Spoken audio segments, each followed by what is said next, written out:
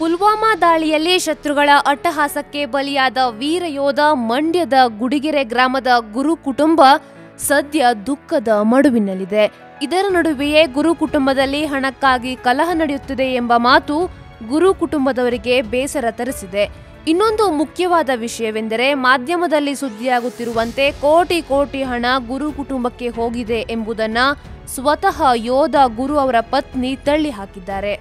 ಒಂದು ಮೂಲದ ಪ್ರಕಾರ ಗುರು ಕುಟುಂಬಕ್ಕೆ ಅಂದಾಜು ಏಳರಿಂದ ಎಂಟು ಕೋಟಿ ರೂಪಾಯಿ ಬಂದಿರಬಹುದು. ಭಾಗಶಃ ಎಲ್ಲರೂ ಸಹ ಚೆಕ್ ರೂಪದಲ್ಲಿಯೇ ಕುಟುಂಬಸ್ಥರಿಗೆ ಹಣವನ್ನ ನೀಡುತ್ತಿದ್ದಾರೆ. ಅಂದಹಾಗೆ, ಕೆಲವು ಮಾಧ್ಯಮಗಳಲ್ಲಿ ಹಣ ಹಂಚಿಕೆ ಬಗ್ಗೆ ಗುರು ಕುಟುಂಬದಲ್ಲಿ ಜಗಳ ಶುರುವಾಗಿ ಪ್ರಕರಣ ಪೊಲೀಸ್ ಠಾಣೆ ಮೆಟ್ಟಿಲೇರಿದೆ.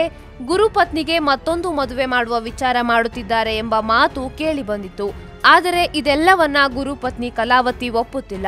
ಇವೆಲ್ಲವೂ ಸತ್ಯಕ್ಕೆ ದೂರವಾದದ್ದು.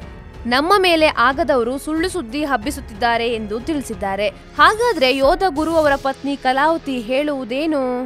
ನಮ್ಮ ಕುಟುಂಬದವರ ಮೇಲೆ ಸುಳ್ಳು ಸುದ್ದಿ ಹಬ್ಬಿಸಿದವರ ಬಗ್ಗೆ ದೂರು ನೀಡಲಾಗುವುದು. ನಮ್ಮ ಯಜಮಾನರ ಸಾವಿನ ವಿಚಾರ ಮುಂದಿಟ್ಟು ಹಣ ಕೇಳುವ ನೀಚ ಮನಸ್ಥಿತಿ ನಮ್ಮದಲ್ಲ.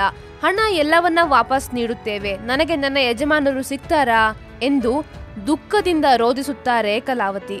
ನಮ್ಮ ಮನೆಯಲ್ಲಿ ಎಲ್ಲರೂ ಚೆನ್ನಾಗಿದ್ದೇವೆ. ತಿಥಿ ಕಾರ್ಯ ನಡೆದಿದೆ. ನಾನು ಹೊರಗೆಯೇ ಬಂದಿಲ್ಲ. ನಾನು ಯಾವ ಬ್ಯಾಂಕ್ಗೂ ಹೋಗಿಲ್ಲ. ಪರಿಹಾರ ನೀಡಿ ಎಂದು ಯಾರ ಬಳಿಯೂ ಕೇಳಿಲ್ಲ.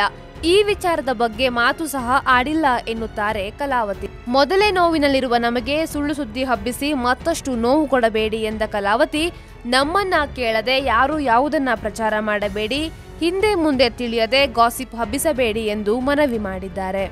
ನಾವು ಜಗಳವಾಡಿದ್ದೇವೆ ಎಂಬುದಕ್ಕೆ ಸಾಕ್ಷಿ ಎಲ್ಲಿದೆ? ಸಾವಿನ ಮನೆಯಲ್ಲೂ ದ್ವೇಷ ಕಾರುವ ನಮ್ಮ ಜನರ ಮನಸ್ಥಿತಿಗೆ ಏನನ್ನ ಬೇಕೋ ಗೊತ್ತಿಲ್ಲ ಎಂದು ಬೇಸರದಿಂದಲೇ ನುಡಿದರು ಯೋಧ ಗುರು ಪತ್ನಿ ಕಲಾವತಿ.